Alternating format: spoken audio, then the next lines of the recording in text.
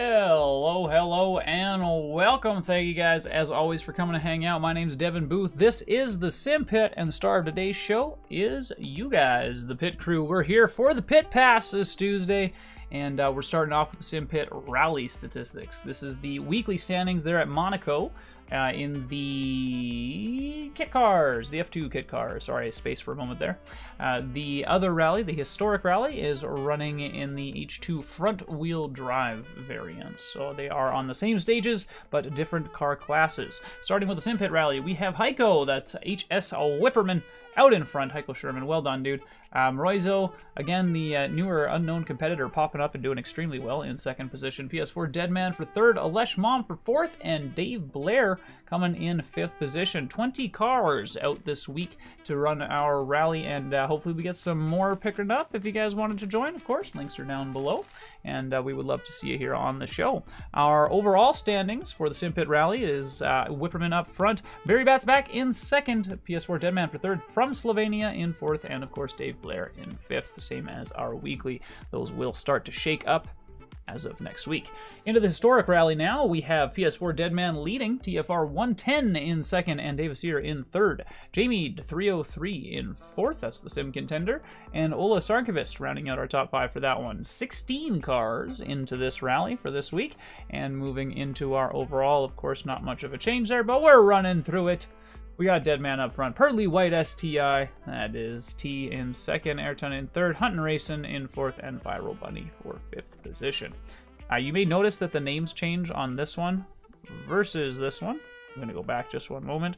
Uh, those are the same people. Uh, the way that the Codemaster slash Steam accounts mesh together creates all kind of a mess up. So Apologies for that. If you guys want to get the names correct, you can go into the Discord in the announcements section. There is a spreadsheet that will help you get that figured out. Now, let's move ourselves over into our ARCA series. This is our weekly statistics, or sorry, weekly standings for the ARCA series. This week they ran at the Nashville Speedway, I believe it was. And we have David Clymer out front Mark Michkowski in second, Tyson Landis in third, Brandon Carl for fourth, and Brandon Skinner in fifth position. Looking at our overall standings, we have Tyson Landis in front, Mark Michkowski for second, 82 points. Kevin Burrows in third, Joe Hildinger for third as well, tied with 77. And fifth place is Thomas Dudek with 71 points. Uh, moving over to our road series. This is in GTEs this season, and we are running Daytona this week. Elvis comes out with the win on that one. Gonzalo Perone in second place, closely followed behind by Randall White. Shaun Cole in fourth, and Kevin Burrows rounding out your top five. Tony Morano Jr., Chris Generelli, Nick Boyd, Joe Antonio, and Alcabades Ramirez. Excuse me, brings you back down to 10th position.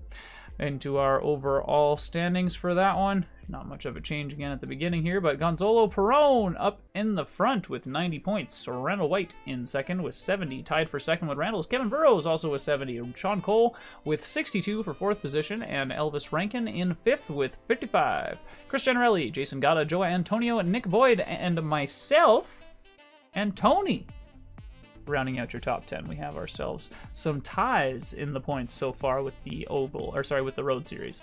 Uh, moving over to our Mustang Series, this series happens every two weeks, and signups are still open for this one, so there will be a link down in the description below.